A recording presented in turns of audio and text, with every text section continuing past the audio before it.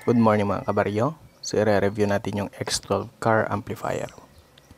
Meron siyang 1000 watts times 4 channel maximum power and 300 watts per channel RMS. So ganito yung itsura ng kanyang harap. Meron siyang nakatatak na 4000 watts X12 and doon sa taas ay meron siyang adjusting knob for gain, low pass filter, and high pass filter. Yung channel 1 and 2 ay magkasama and channel 3 and 4 ay magkasama. Kadalasan itong ginagamit sa mga sasakyan and tricycle. Tingnan natin yung kanyang harap.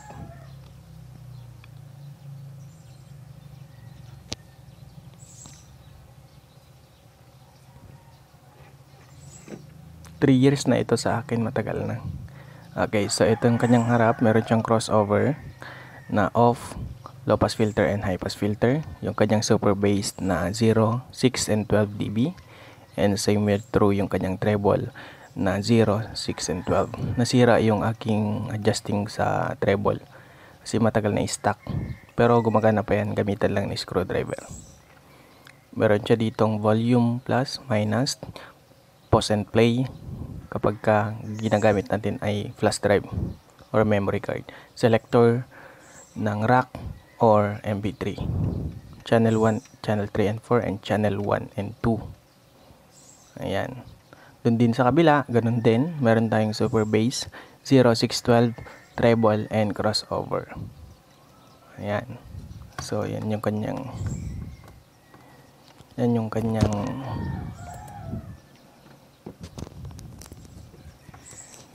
exhaust meron din siyang exhaust. Tignan natin doon sa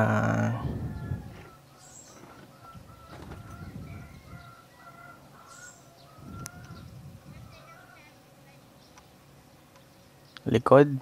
Ito naman yung kanyang likod. May siyang ilaw sa protection. Ito yung kanyang ground negative. Ito yung remote and positive or yung B plus meron siyang dalawang fuse.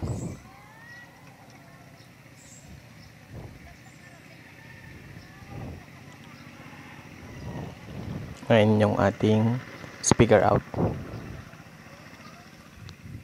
Ayan. Meron tayong 4 channel dyan. And pwede rin siyang i-bridge. Bridge mode. Meron po kasing tat tatlo ata na mode dyan. Pwedeng mono, stereo and bridge Ayan. So, yan na din isasaksak yung ating speaker. Sa likod naman or sa baba, sa ilalim, ganito ang itsura niya. Ah, meron siyang butas dyan para dyan natin ima-mount kung ilalagay natin sa side ng sasakyan o tricycle. Ayan basahin nyo na lang yan ano?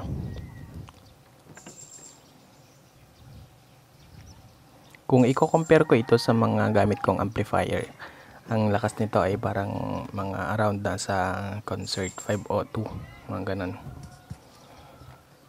Hindi ko pa kasi na-try ito sa subwoofer So wala pa akong wala pa akong speaker na subwoofer. Yung talagang magandang design na subwoofer. Pero I think malakas ito. Tsaka magandang tunog niya eh. Ang ginagamit ko kasi ditong speaker ay yung 8 ohms. Napakaganda na ng tunog. Kaya lang hindi kasi advisable yun na gamitin kasi masyadong malak malaki yung wattage ng ginagamit kong speaker kaya hindi ko siya masyadong pinapalakasan. Uh, ganyan yung kanyang loob.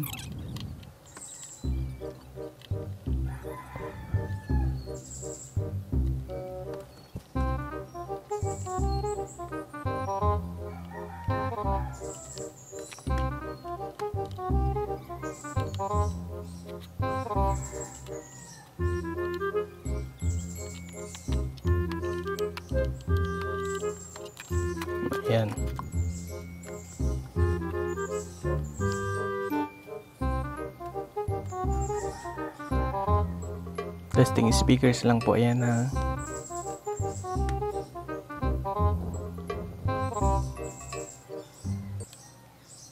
mas magandang gamitin dito yung mga targa mga ganun.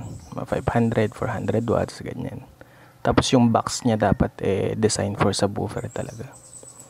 Gamitan natin ng Motolite. Itong Motolite na battery uh, tatagal ito ng 2 to 5 days depende sa gamit.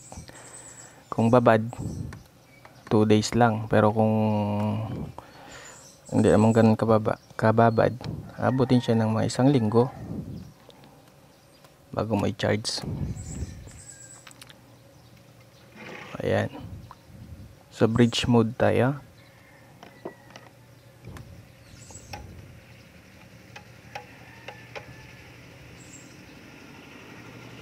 Tignan mabuti ha yung, yung pagsaksak ng positive tsaka negative nahulog yung isang screw niya dyan kasi hindi ko na malay na maluwag pala. Kaya nahulog yung isa.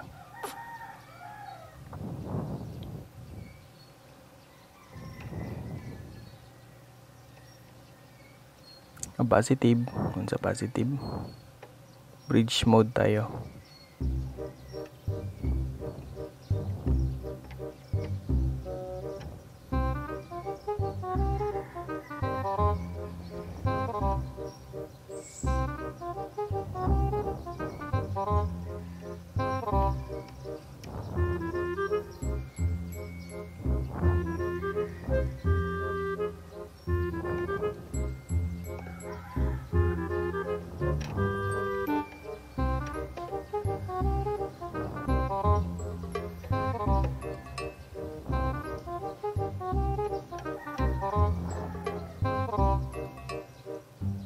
Ayan.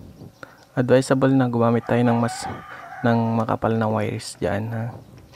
Para hindi masunog. Yang isa diyan manipis na wire ang ginamit ko. Hindi naman ibababad. Ito manipis tong wire na to. Dapat yung kapal ng wire na gagamitin ay ganito.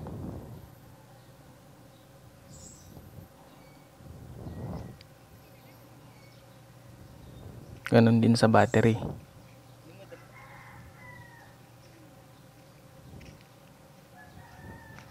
Ayan, ito yung papunta sa battery. Yung ground, yun yung negative. Kung pwede natin yan isasak yung ground doon sa mismong base ng inyong masasakyan o kaya idirektan nyo na sa negative ng inyong kwan inyong baterya. Uh, B plus is yung positive yung ground ay yung negative.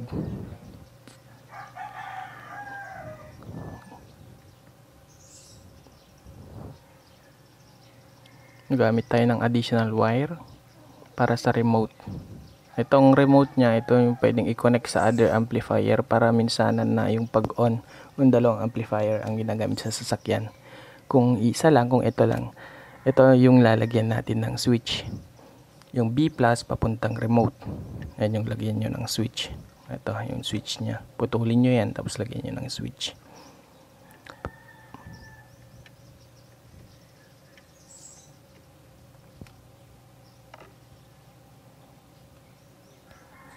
Pwede rin tayo maglagay ng additional na fuse doon sa positive doon sa malapit doon sa baterya kung gusto nyo mag magsigurado So, ayan. So, pag naka-on na, meaning to say, naka-on na yung protection doon sa likod, naka-on na siya. O gagamitan natin ng flash drive or connector cellphone. Pero mas convenient kasi ang flash drive, kaya flash drive na lang. Ayan. So, ayan yung timpla ko. Papakita ko mamaya yung timpla ko para masundan ninyo. Ano. Pwedeng i-explore nyo na lang yung timpla anong mas magandang timpla ninyo? Eh okay la pa. May explore nyo naman yan